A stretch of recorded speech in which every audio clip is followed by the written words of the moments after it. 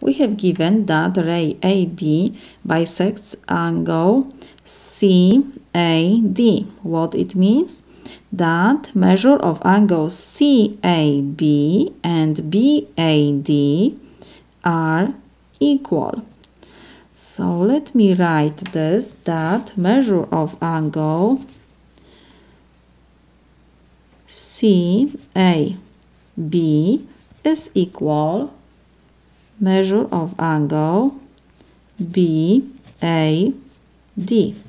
And we have given that measure of angle CAB has expression 6x plus 10 and measure of angle BAD has expression 7x.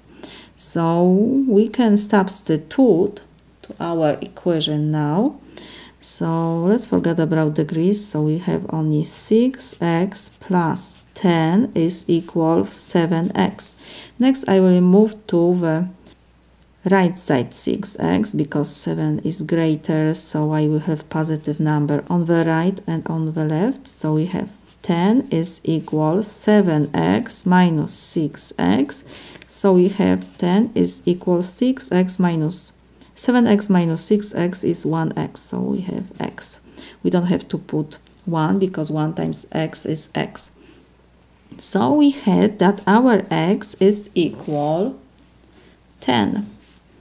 When we have a no x, now we can find the measure of angles.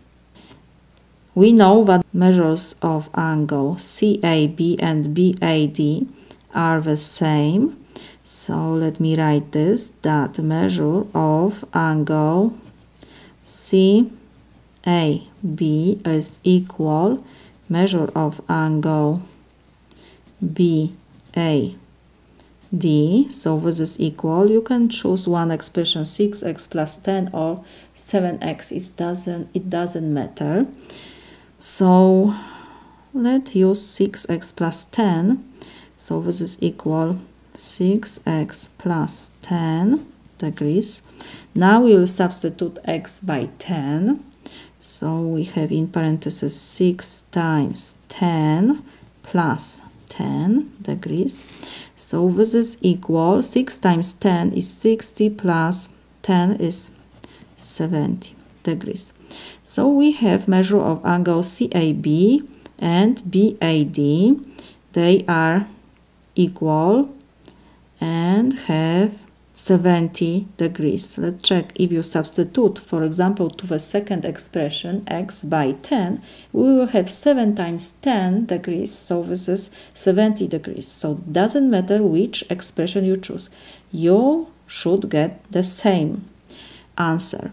So we have this two angles, so now we have to only find measure of angle CAD. Measure of angle CAD because B is interior point of angle CAB, so measure of angle CAB is equal to sum of angles CAB plus measure of angle BAD. And we found that these two angles they have 70 degrees. So measure of angle CAD is 70 degrees plus 70 degrees. So this is equal 140 degrees. This is my solution.